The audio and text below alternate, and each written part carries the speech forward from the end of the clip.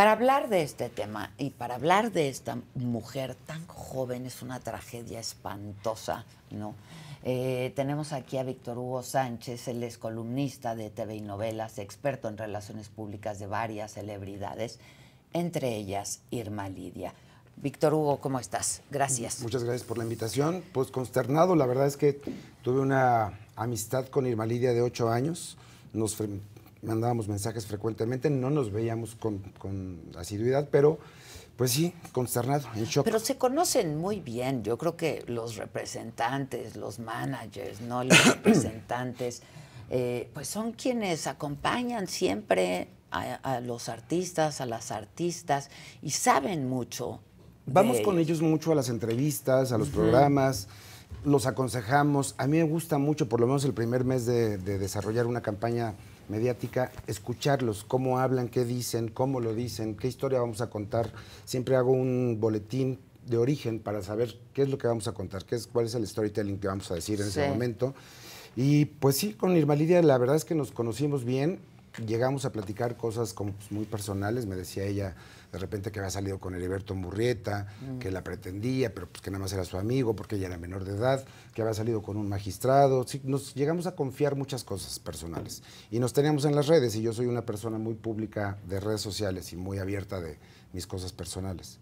Tú fuiste representante y has sido representante de varias figuras, ¿no? Este, Trabajé con José José, con Luis Miguel, con Lucía Méndez, con Salma Hayek, con Eugenio Derbez. Llevo 35 años en esto y publiqué un libro, estoy por publicar el segundo, que es RP, El otro lado del espejo, donde cuento la historia detrás del personaje.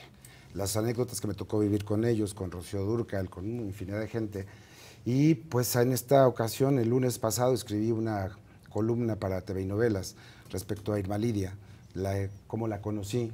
Llegó, yo era coordinador de invitados del programa del canal Capital 21, que es el canal del gobierno del DF, y me habló, este me contactó en las redes sociales, me pidió el teléfono y me insistía y me insistía en que quería ir a cantar, quería ir a cantar. Yo la escuché, me mandó sus videos. ¿Hace cuántos años? Hace ocho, años. Ocho años. Esto quiere decir que tenía 15. Tenía 16 años. 16 años. Sí, murió de 21 años. La gente tiene dudas respecto a su edad. Lo que pasa es que sí se, se vestía como señora, tenía un peinado como antiguo. Y... 21, es que estábamos, lo comentábamos aquí, que algunos medios decían 21, otros 23. Y luego algunos también estaban especulando que era una persona mayor, ¿no? Y... No, es Pero tenía 21 años. Tenía 21 años. Les digo esto porque cuando yo la la propongo, eh, mi jefe en el canal no le gustaba mucho que programáramos música regional, Irma Lidia estaba cantando solamente ranchero, la propongo, me la aceptan y le dije, Irma, nada más que eres menor de edad, tenemos que, tus papás tienen que firmar una carta donde autorizan la Pero difusión entonces de tu tenía 13, 14 años. si fue hace 8 años. Tenía 16. Entonces muere de 24. Muere de 21, son 8 años. Mm, no. A ver, espérame, sí. No, no, no. No, estaba más chavita, tiene 24. 13 años. Si muere de 21. Sí, tienes, razón. Tiene, tenía 13, años.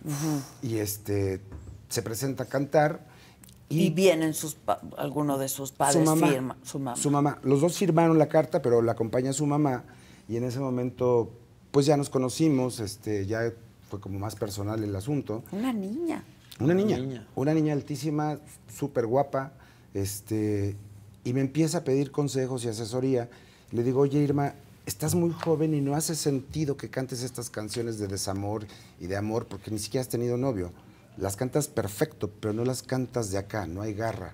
Yo te recomiendo que pues cantes no hay experiencia, no hay vida, no hay, ¿no? pues era una niña cantando canciones de adulto. Exacto. Al poco tiempo, eh, yo cumplo 50 años, se entera ella por mis redes sociales, me dice, invítame. Le digo, sí, por supuesto, estás invitada, pero ve con sus papás, por favor. Llega a mi fiesta con, con su papá, y ahí me contratan, me dicen, oye, necesitamos que esta niña despunte, queremos un RP. Empezamos a trabajar y ahí pues desarrollamos, estuvimos en varias temporadas. Hasta que después me entero, dejamos de chambear, que estaba saliendo con Carlos Quiñones justo cuando ella cumple los 18, comienza una relación con un señor al que le llevaba, no sé, 40 años. ¿Pero ya tenía 18? Ya tenía 18. O sea, hace tres años. Cuando cumple los 18, ella empieza una relación con Carlos Quiñones que se sabe, trascendió, no me consta, era como por un contrato. Iba a vivir con ella tres años, él iba a producir tres discos y la iba a mantener, a dar, proveerle de ropa, viajes, etcétera. O sea, fue su pareja sentimental, Fue su pareja digamos, sentimental pero con un contrato de por medio. con un contrato de por medio. Digamos, como estos contratos matrimoniales que Sí, también sí, en sí, Estados. Unidos existen, Sí, ¿no? Se sabe o se dijo que él, él la mandó operar con un cirujano plástico y que ella tuvo una relación con el cirujano. Entonces, Carlos Quiñones le dice, tu contrato ya no vale, te vas de mi casa, adiós. Se va Irma Lidia y a la semana Carlos Quiñones se enferma de COVID y muere. Se supo, y yo se lo pregunté directamente a ella, que a la muerte de Carlos, ella va al penthouse donde vivían y vacía la casa de la ropa, joyas, dinero. Le pierdo la pista nuevamente un buen rato y en enero de este año, del 2022, me habla y me dice, oye, necesitamos trabajar, ya voy a producir mi nuevo disco y quiero que te sumes como mi RP. Me citan en una casa en el Pedregal, la casa de Jesús Hernández Alcocer, el abogado presunto. Llego y me dice, señor, este, necesito que trabajes con, con mi esposa. Me, la- me dice mi esposa. Y a mí me dije, ¿cómo? ¿En qué momento se casó? Si venía de otra relación. ¿en qué momento se casa con un señor tan grande? Se para este señor para darme el dinero de lo que yo le iba a cobrar. En ese momento me pagó en efectivo. Se para y le digo, oye Irma, nos va a costar un poco de trabajo porque Carlos Quiñones tenía muchos amigos. Gustavo Adolfo, Gilberto, todos eran amigos de Carlos Quiñones y no te quieren mucho porque se supo esto. Me dijo, ahorita no te lo puedo contar porque hay micrófonos, te lo cuento después. Me voy, hago la estrategia de comunicación, se las mando y encuentro a otra Irma Lidia, muy empoderada, muy, muy, muy rara. Y empieza, ¿cómo vamos? ¿Cómo vamos? No me gustó este boletín. Yo lo voy a hacer. Le digo, oye, Irma, si vas al dentista, tú no le dices al dentista cómo lo haga. Déjame hacer las cosas como yo sé hacerlas. Ya nos funcionó en el pasado, pues déjame hacer mi chamba.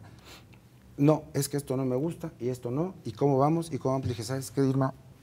Eres un dolor. No quiero trabajar contigo.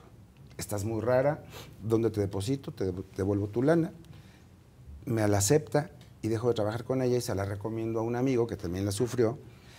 Y curiosamente, hace un mes aproximadamente, me habla Reinaldo López, papá, el productor de XETU. Sí, sí, sí, Y sí. me dice, Víctor, oye, me están presentando una cantante maravillosa, extraordinaria, quiero que vayamos, que la escuches. Nos invitan a comer el domingo en casa del, del marido. Cuando llego yo... dije- Nunca te dice quién es. Nunca me dijo quién. Cuando llego dije, tengo un déjà vu. Ah, ya estuve aquí. Yo ya estuve aquí.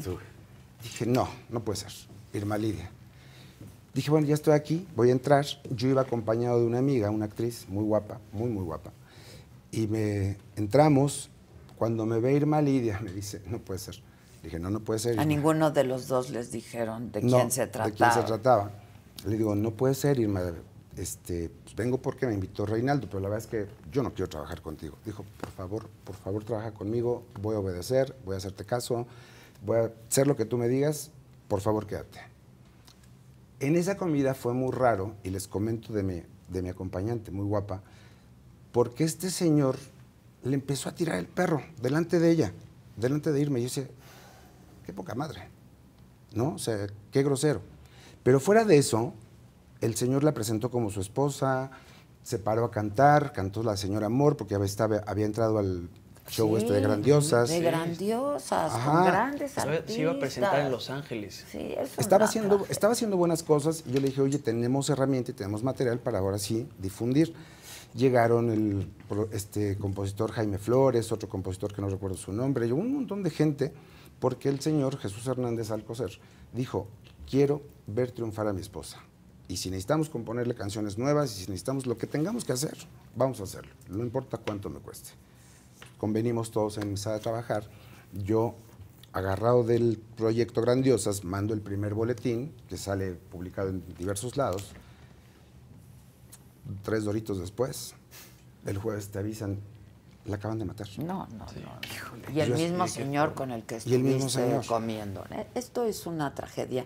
Y, y la verdad, lo que más duele, ¿no? Es que ahora revictimicemos de alguna manera los medios de comunicación y las redes sociales a una mujer que fue víctima de un feminicidio a todas luces. A todas ¿no? luces, claro. A todas Este, y bueno, lo aclaro porque el, el- el hablar contigo está en el ánimo de saber, pues, si tú, qué tanto conocías a Irma y de, pues, esta, esta relación que también, evidentemente, pues, caray, una jovencita de 21 años con un hombre de casi Claro. 80, ¿no? Este, y con un hombre de casi 80 que pudiera no pisar la cárcel, ¿eh? claro. Y eso es lo que me parece Eso es lo más grave Eso es lo que, porque otra vez la completa impunidad en este país. ¿no? Totalmente de acuerdo. Yo pienso, deduzco, infiero, concluyo, creo que él sabía lo que estaba haciendo y sabía que no le iba a pasar nada. Es un abogado.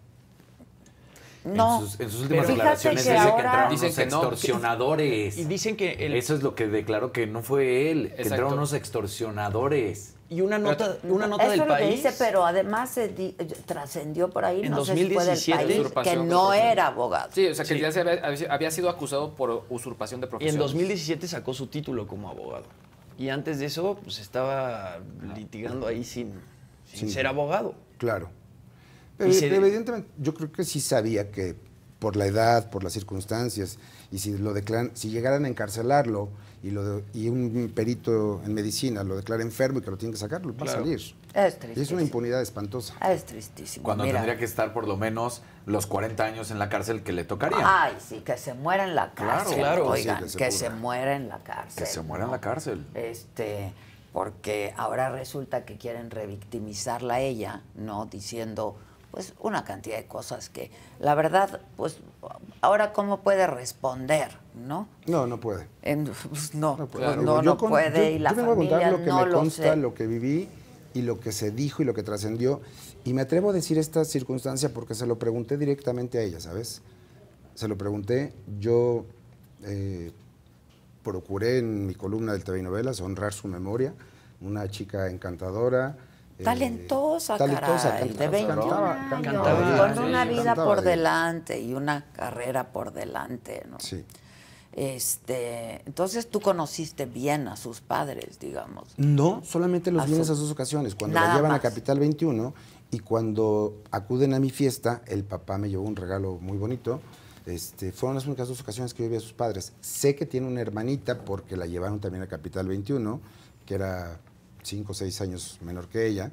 este, pero no, con la que conversaba mucho era con Irma Lidia. Por WhatsApp, por Y te, redes. te- te- te confiaba cosas. Me confiaba cosas, sí. Que había salido con Heriberto Murrieta, que había un actor o dos actores por ahí que le estaban tirando eh, la onda. Pero ella era menor de edad. Le dije, oye, sé muy cautelosa porque eres menor de edad, puedes meterte en problemas y puedes meter en problemas a alguien, ¿no? Pero de esta última relación realmente no te contó mucho. Porque se sabe que ella ya lo había acusado alguna vez de ponerle una pistola De en esta la última cabeza. relación no. La verdad es que nos ausentamos, no sé, unos seis, siete meses, ¿sabes? Que en esta época de la pandemia no conversamos mucho, ta- cada quien traía como sus, sus rollos y sus broncas. Y me decía, era muy chistoso porque me decía que era como su abuelito, que la aconsejaba como un papá o como un abuelito. Entonces me decía, abuelito. Yo, sí, hombre, Anita. Híjole, pues qué triste, pero entonces sí se casó. Sí, se casó. Yo entiendo que justo en esa comida estaban tratando los términos del divorcio. Es lo que se dice. Ah, es un gángster. este Y se dice, que Ah, se, es un gángster. se dice que se habían divorciado ya una vez Eso es y lo se reconciliaron. Yo se eso volvieron a no lo sé, no. Está complicado rastrear eso, seguramente, digo, habrá quien lo pueda hacer. Pero él la presentaba como su esposa. Y hablaba de mi esposa, y mi esposa, y mi esposa. Sea, me quedó claro que estaban casados. Pues sí, a todas luces un feminicidio, ¿no? Sí. Porque además, a ver, corrígeme, pero pues cuando estás tan cerca de alguien llegas a encariñarte de ese alguien, ¿no? Este y, y- y es tu artista, ¿no? O sea, tú lo estás representando, es tu artista. Y entonces, pues resulta que es muy fuerte, ¿no? Sí, la verdad es que yo el jueves que nos avisaron, yo sí entré en shock porque pues tenía un mes que la había visto y tenía una semana, el, eso fue el jueves, el lunes nos habíamos escrito y me dijo, oye, insístele a Jesús para ya vernos, para que te paguen, para no sé qué. Le escribo yo a Jesús Hernández Alcocer, le digo, este, oiga, señor, ¿cuándo nos vemos? Me dijo, tú dime. Y ahí se quedó el WhatsApp. ¿Y qué impresión te dio ese señor la- en las dos ocasiones que lo viste? Las dos ocasiones me pareció un cuate prepotente, estaba en su casa guaruras, armas de alto calibre. Me dio miedo, me dio Te dio miedo. miedo. Me impuso, ¿sabes? Con Y eso es- no lo comentaste con Irma nunca, No, nunca. no. No, porque pensé y asumía que, bueno, pues que tenían una relación marital, que pues ella había elegido una persona mayor que ella. Pues sí. Y ya era mayor de edad, entonces pues ya cada quien decide. La decisión ¿no? era de ella. Oye, este, pues nada, yo sí voy a seguir muy de cerca este caso, como he seguido tantos otros, este, de mujeres violentadas, mujeres asesinadas, a sus familias, ¿no? O sea, qué cosa Terrible. terrible. Muy terrible. ¿Estuviste en su entierro? No. No fuiste. No, no fui ni quise hablarles a los papás. No, no sabes qué decir en situaciones como Sí, esa. ¿qué dices? Pues sí. No hay, no hay palabra que te consuele, no hay abrazo que te consuele. No, Deben estar desgarrados. pues sí, me imagino. Sí, aparte yo leí que la mamá también estaba, o evidentemente estaba en completo desacuerdo de que Irma Lidia estuviera con este señor y ella se lo ocultaba. Pero otra vez es mayor de edad, ¿qué puedes hacer? Exacto. ¿no? O sea, más que aconsejar y guiar y orientar y como madre, ¿no? Eso es Claro, lo que- eso es, eso es lo más que puedes eso hacer. es lo que te Y procurar hacer. estar cerca, porque en esa primera ocasión que nos vimos, en enero, yo me acuerdo que sonó el teléfono y era, el sonó el teléfono de Jesús y era la mamá de Irma Lidia. Y le dijo, sí, suegra, vengas a comer, no sé qué, no sé cuál. Dije, bueno, pues deben estar de acuerdo los papás, ¿no? Claro, claro. Este, ¿y con Luis Miguel cuándo estuviste cambiando el tema? Con Luis Miguel estuve del 87 al 95, viajé con él a Monte Carlo, en, en la serie de televisión, cuando dicen, dale la exclusiva de la separación de Luisito Rey con Luis Miguel, dásela a Humberto Rivas del Heraldo, pues soy Humberto Rivas. Y entro a casa de Luis Miguel en 1989, cuando él cumple 18 años, y empezamos a entrevistar. En aquellos años no había estas cosas, entonces pues, yo apuntaba con mi libreta, Claro. no había grabadoras, se vuelven muy caras. y por la diferencia de edades, como que le caigo bien, Luis Miguel me empieza a platicar que se iba a separar del papá, que el papá se iba a desarrollar nuevos proyectos en España, que él se iba a hacer cargo de sus discos, de sus giras, de su ropa, de todo. Esa es la parte oficial. Cierro la libreta y me dice Luis Miguel, ¿no gustas un whisky? Yo dije, pues yo ni bebía. Pero dije, es como tomarte un whisky con Claro. Sí, Elvis Presley. exacto, Sí, claro. ¿cómo y no? entonces, pues, no fueron uno, fueron como tres o cuatro o cinco. Al quinto, ya estábamos puntos medios chiles. Y me dice, ¿no sabes lo que daría por tener tu video?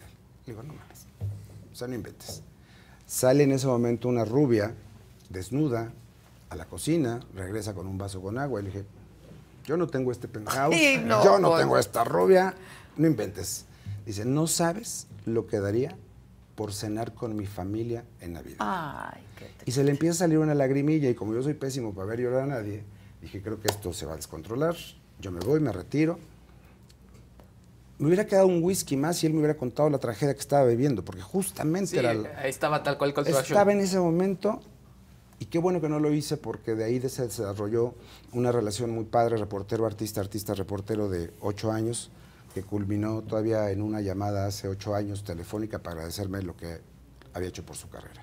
¿Y cómo viste la serie? Muy apegada. Muy apegada, muy apegada. Ay, Mira, pues ahí estoy yo. ahí están. Ahí estoy yo. Eh, esa es la foto de esa, de esa entrevista, que la tomó el fotógrafo que quizás te acuerdas Pero de él, los dos bien chavitos, ¿por qué hablas de diferencia de edad? porque le llevo cinco años. Yo tengo Bueno, no 57. es tanto. Como tu Sí, hermano sí, mayor. Quizá en esa Yo época. tengo pero- 57, él tiene 52, si no me equivoco. Mira nomás. Qué padre.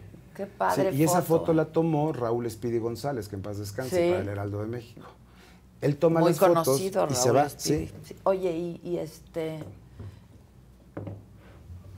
¿Qué, ¿Cómo lo veías? Porque además a Luis Miguel no le gusta dar entrevistas, ¿no? En aquel entonces sí, cuando Claudia de Casa saca el libro de la vida privada de Luis Miguel, la biografía no autorizada. él empieza a ser más reacio, a tener contacto con la prensa. Nos llevan a Monte Carlo porque le entregaban a él un premio como el artista latino internacional porque se hizo amigo de Estefanía de Mónaco cuando Estefanía de Mónaco vino al Festival Acapulco. Sí, sí, claro. Nos llevan al norte de Monterrey, todavía no existía el Reforma, al Universal, a Notimex y al Heraldo de México. Nos llevan una semana, todo pagado, todo maravilloso, y solamente íbamos a ver a Luis Miguel el jueves de 2 a 4 para darnos una entrevista, lo que quisiéramos. Llegamos al salón que rentaron específicamente para eso y nos dice Mauricio Avaroa, solo les pido un favor. Yo sé que son periodistas, pero les pido este favor encarecidamente. No le pregunten de su mamá, porque se va a parar y se va a ir. Llega Luis Miguel, impecable, fuma. Dice, oigan, no vayan a poner en sus notas que fumo, porque no quiero ser un mal ejemplo para la gente que me sigue. Les invito una champaña. ¿Caviar quieren? Champaña, caviar, todo muy mono. Una botella, dos botellas, tres botellas, se quita la corbata, se, como que se arrana, dice, ya estoy cómodo. Y nos platicaba de las novias y que el disco y que ta, ta, ta, ta. Fue ta. una especie de conferencia de prensa, Fue digamos. una- un junket de cuatro periodistas con él. Ok. Un round table. Pero, Ah. exacto, pero no de, a- de a- cada uno por No, separado. éramos los cuatro Ok. preguntando cosas. Y de repente, mi querido Ernesto Hernández Villegas, ¿verdad? Que estaba de jefe de espectáculos en el Universal, a las dos horas, no, ya llevamos como tres horas y como seis botellas de champaña, ya todos estábamos como un poquito, ya saben. Y de repente le dice, oye, Miki. ¿Qué nos puedes contar de tu mamá? Y Se paró y se fue. ni gracias, dijo. Ni la foto del recuerdo, ni se fue. Y este es el tema, de que Luis Miguel no quiera dar entrevistas nunca. Y si ya contó su vida a través de Netflix, pues ¿a qué más queremos preguntarle? Ya lo dijo todo, Claro. ¿no? Pues a mí sí me gustaría tener una conversación. Sí, Ah, no, a mí también, pues, No, pero, o sea- pero evidentemente no le vas a preguntar eso. ¿Y perdiste todo contacto con él? Perdí todo contacto porque yo en el 95 me fui como jefe de prensa de Televisa, pasé de ser reportero, jefe de espectáculos, a jefe de prensa de Televisa, gafete blanco, éramos 12 gafetes blancos en aquel entonces. Yo tenía 27, 27 años, perdí el piso y entonces pues me alejé de todo mundo. Dije yo, soy Víctor Hugo. pero, hace, pero hace, exacto, exacto. Más carga. pero hace ocho años me llaman por teléfono y me dicen, oye, soy fulano tal, este, te hablo de parte de Alejandro Basteri, que si quieres comer con él. Voy a Polanco, al Santinos, llega este cuate, pero nunca llega Alejandro Basteri. Le dijo, oye, ¿nos va a alcanzar en el postre, en el café o qué? No, es que vamos a cenar con él. Le dijo, maestro, me dijiste que íbamos a comer. ¿Y dónde vamos a cenar? En Puebla. No. No, estás loco. Le dije, no, pues, ¿cómo en Puebla? Le digo, ¿en serio? Sí, nos vamos ahorita. Dije, bueno, pues ya estoy aquí. Me trepo a la camioneta, guaruras, todo el rollo. Llegando a Puebla, esto que les cuento es real, ¿eh? Llegando a Puebla me dice, oye, te voy a pedir un favor. Yo, ¿qué? Ponte esta capucha. No, eso no es cierto. Sí, te lo juro. No, no, este libro está lleno de todas esas cosas. Me pongo la capucha y dije, pues ya estoy aquí, de haberme querido matar, me matan en Polanco, me matan entonces. Me pongo la capucha, llegamos a una casa, me bajan, entramos, me quitan la capucha y Alejandro Basteri con una computadora así. Me dice, ahorita nos vamos a cenar, Víctor Hugo, gracias por aceptar la invitación. Le dije, oye, pues qué invitación más rara. Sí, aguántame. Nos trepamos a la camioneta otra vez con la capucha para que yo no viera dónde vivían, ni cuál era el restaurante, nos meten a un privado, estamos cenando y Alejandro me decía que estaba muy agradecido porque yo había hablado bien de él en un programa de TV Azteca y de su hermano. Le dije, no, pues no tienes nada que agradecer, pues te conozco, o sea, nos hemos visto infinidad de veces y sé mucho de ti a través de una amiga. No, pues, está perfecto. Cuando ya estábamos en el café, me dice, oye, si te quieres quedar aquí en Puebla, tienes una suite en, en el hotel, o te lleva mi chofer ahorita si quieres regresar de una vez. Le digo, perfecto.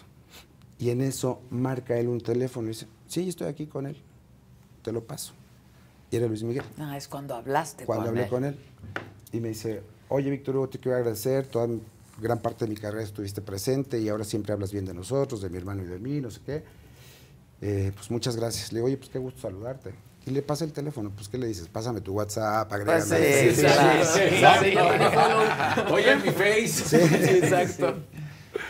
Sí, la verdad es que son 35 años de una trayectoria muy privilegiada porque tuve la fortuna de, de entrevistar a Juan Gabriel, a José José, de trabajar con ellos.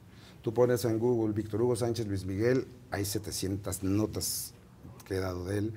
Pones Víctor Hugo Sánchez José José, hay como 57 Puros personajes, la verdad, muy fascinantes. Luis Miguel me parece, ¿no? Este, tan complejo. No, José tan- José, José José era un No, encanto, José ojo, lo José, trataste. un rey. Yo lo Un rey, entrevisté un rey. varias veces. Yo y- fui a su casa y la primera vez que lo entrevisté en el 89, Yo tenía 23 años.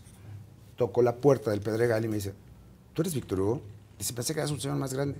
Escribes divino y a mí nunca me has entrevistado. Le digo, pues aquí estoy, señor, para entrevistarlo. Paso y tenía en el jardín de su casa el Pedregal una casita de muñecas que era más grande que el departamento en el que vivo ahora. Y de repente me dice, oye, ¿te quedas a comer con nosotros? Vamos a comer flautas de pollo y de papa. Es lo que nos gusta comer los domingos. Yo decía, pues eres el príncipe. ¿Dónde está el caviar? ¿Dónde está la champaña? No, me quedé ahí, vimos el supertazón, me quedé y nos hicimos super cuates, super cuates. Conmigo siempre fue un rey, se portó No, divino. era una maravilla, una maravilla. Y de Juan Gabriel, durante ocho años lo perseguí para entrevistarlo, fui a sus fiestas, fui este, a una cosa con Isabel Pantoja, como 15 ocasiones buscándolo y persiguiéndolo para la entrevista. En su cumpleaños número 41, que hizo en el Baby O, le digo, "Ay, señor, me va a dar una entrevista. Y me dice, usted no sabe divertirse, ¿verdad? Es una fiesta. Le digo, no. De trabajar. Luego, después de, la, después de la fiesta, me dijo, no. Después de ocho años, él termina pidiéndome que lo entreviste y me paga un viaje a Florida para entrevistarlo en su casa, porque él quería dar una declaración para que la leyera Emilio Azcárraga mismo, porque estaba vetado en Televisa. Bien interesante. Me podría quedar a contar. las 80 Maravilloso. ¿Todo eso está en este libro? Todo esto está en este libro, está la historia cuando Eugenio Derbez me contrata y me dice, Víctor Hugo, si yo ahorita le hablo a las cámaras, van a llegar 200 cámaras. Pero si voy los lunes con Alejandra, mi esposa, a este, Alessandra, al puesto de periódicos, no estoy en ninguna portada. ¿Te avientas el reto? Le digo, sí. Yo dije, pues es Eugenio Derbez, o sea, todo el mundo lo va a querer. Los hombres en las portadas no venden revistas. Ándale. Órale. Pues ahí está el, El Cristian Nodal. el Sí. Christian Nodal en el Rolling Stone Sí. y la revista People que el- dice que es de es de los los más más atractivos. Sí, y entonces le empiezo a conseguir la portada de Open, la portada de la revista Hola, y la más chistosa es que le conseguí la portada de Playboy. Entonces, llegamos a la sesión de fotos, dijimos, seguramente va a estar ahí una chava tapadita, cuando la foto se va a quitar. No, nos abre la puerta una pelirroja desnuda, totalmente desnuda. Entramos y había una trigueña y había una güera, desnudas por toda la casa, y un chorro de gente. Y, este Eugenio Derbez empezó a poner muy nervioso, le dice, ¿no quieres una copa? No tomo. No sabes, la foto al final, él está sentado, tapando con sus codos las partes nobles de estas chicas, y sudaba, y sudaba, y temblaba, y temblaba. Hay ochen- hay- son 188 Ah, pues historias. lo vamos a leer. Víctor Hugo Sánchez, RP, El otro lado del espejo. Eh, está a la venta en Está a la venta por Amazon. Ah, por Amazon, nada más. Muy bien. Pues gracias. Muchas Al contrario, gracias. gracias. Hugo, y sigue, sigue este, recogiendo buenas historias. Muchas Que gracias. eso es lo que hacemos los reporteros. Muchas gracias. Al contrario. Eh, Ilan Katz lo tengo vía Zoom, este, porque tengo muchas dudas, Ilan, de este caso